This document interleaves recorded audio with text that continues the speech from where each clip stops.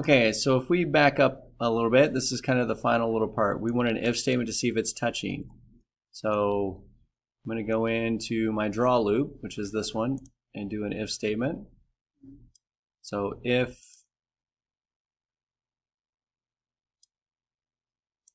bunny is touching coin, then what happens? Well, we're going to call the function set coin because that resets the coin, right? It changes the velocity, which we want to make a random number, by the way, between, uh, let's make it between 3 and 7 so we can switch it up. This is a random number between 3 and 7. Um, so let's just try this. So now we should be able to touch it with the bunny. There you go, look at that. And touch. And touch. And you can see that it changed. That speed, slow speed, fast speed, slow speed,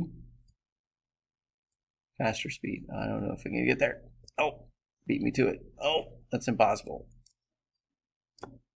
There we go. Now, what do you notice?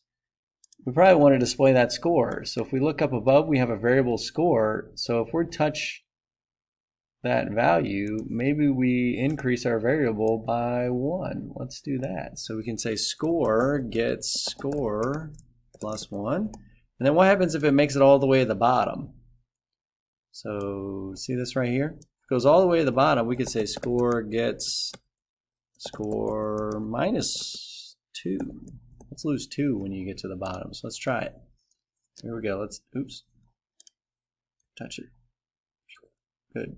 Oh, minus two. There we go. We can see it. Touch. Touch. Touch. Awesome. So that's looking good right now. Now, a couple things that I want to do. I'm going to put this in a function. So I'm going to create my own function down here. And I'm going to create a function that's called move bunny. You're like, why would I do this? Well, this code is kind of driving me nuts, like having to scroll up and down here. I don't, once this code works and I know that my bunny movement is good, like I'm going to move it out of there. So I'm going to cut that out of there and I'm going to move it down to this function. I'm going to go all the way down, put it right here, paste it into move bunny. And now, wherever it was, which it was sitting right here in my code, I'm going to call that function that's called move bunny. And I have done nothing different. My code should run the exact same that it did before. When it does, I'm moving my arrow keys right now, side to side. There's left, there's right, stop, left, right, left, right. We're good to go. Okay? But look how clean that makes. Now, let's make another one. Let's do this one, this score detail. So let's call, make a function called draw score. So down here, do draw score. And then what are we going to put in there? We're going to put this stuff. cut that from there. I'm going to put it down here. And now we can call draw score. Again, you're still going to see the score up here, but now it just cleans us up. What do these things do? Well, this like checks coin location, right? So we can check coin to see where it's at. So we're going to do a function that's called check coin. And what's it check the coin of? Well, it checks to see if it's off the screen or if it's touching the bunny. So these kind of go into that function. So I'm going to go in here, paste it right there, and then I'm going to call check coin. So now look at your draw loop. It is so much more simplified. I'm going to get rid of some of this white space. Look at this. It is this many lines of code. It's move the bunny, check the coin, draw the score, draw the sprite. And this works just the same as it did before, but we know that those functions work. I don't have to read I don't have to change those. Like and I'm not in danger of changing them because I don't really mess with my functions. Once I write my function, if it works the way I want, I don't have to mess with it.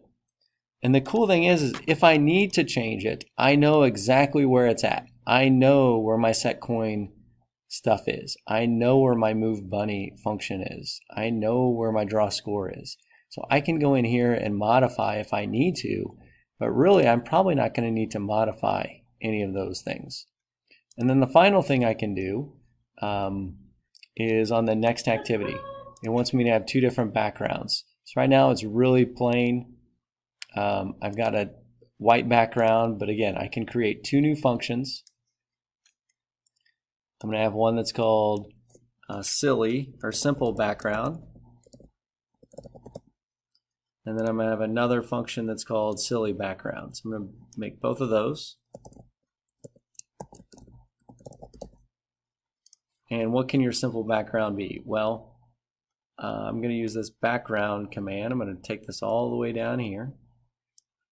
Um, I'm going to do blue. I'm going to make it like an outdoor scene. So I'm going to do a sky blue. And then I'm going to make a little bit of, well, there's no real grass. So if you notice, why is it streak? Look at that. We got my coin streak going on. And I'll get my rabbit streak. Look at that, rabbit streak, coin streak. That's not right, is it? No, because I'm not drawing the background. I move that I move that out of my code, but I didn't call simple background. So this is where I need to have an if statement. If score is less than 10, I'm going to call simple background.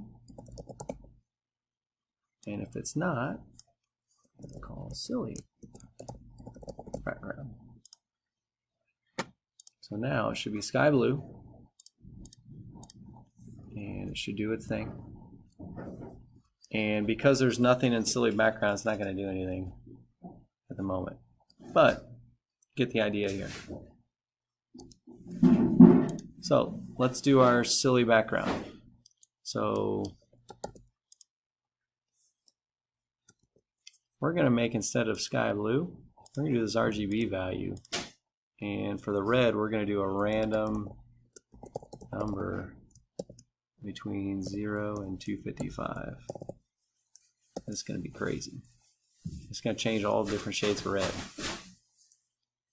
So let's try it. Oh, one other thing. So you don't have to sit here and do this like forever. You can go up here and instead of a score of 10, let's do a score of 3.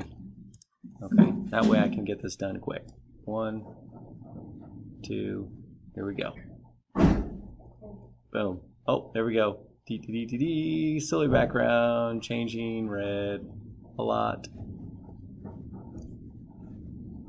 as we flicker through there. Now you can do all sorts of things um, in that. But that's just the simplest way to do it. That fulfills the requirements. Write your functions. You could even put this in a function that's called draw background. So you can go inside of here, do a function, draw background, and now inside of that function, I'm just going to copy and paste this code. I'm going to cut that out of here move it down to this, and now I'm going to draw background here, and that should work the exact same. So here we go. Oh, negative two. Gotta get five now. There's one, two, uh oh. Come on, make it. Yes. And there it goes. All right. Have a good rest of the day. Enjoy. Make it fun.